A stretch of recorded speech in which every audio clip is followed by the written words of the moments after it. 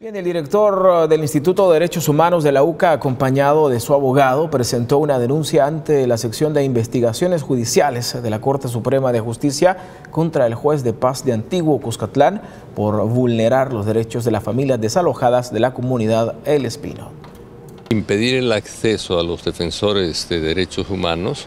es una violación de una legislación internacional que ha asumido como legislación propia El Salvador.